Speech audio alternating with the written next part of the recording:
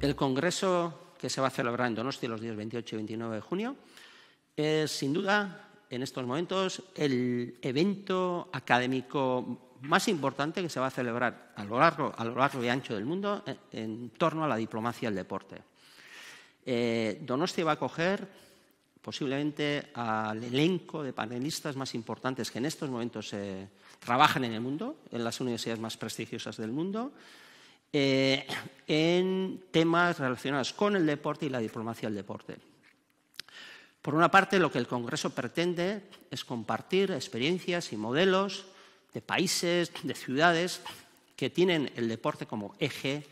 de su política de relaciones internacionales, de su acción exterior. Eh, quería subrayar, por ejemplo, que la máxima responsable del Departamento de Diplomacia Deportiva del Gobierno de Estados Unidos, Ashley Goodman, va a estar en el Congreso y eh, sin ningún tipo de dudas yo creo que es un hito muy importante que la máxima representante del gobierno que más ha dedicado históricamente a la política deportiva va a estar en Donostia, pero aparte de Ashley Hoodman eh, hay una relación de personas, de personalidades que van a compartir eh, sus miradas del deporte desde diferentes prismas, desde el prisma de la economía, de la inclusión social,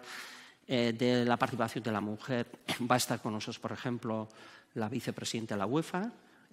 Laura McAllister, que es una de las iconos del fútbol femenino, y son 23 panelistas que sin duda van a eh, enriquecer un ámbito que en estos momentos está eh, adquiriendo un auge importante. Sin duda también va a ser una oportunidad para que también la sociedad vasca,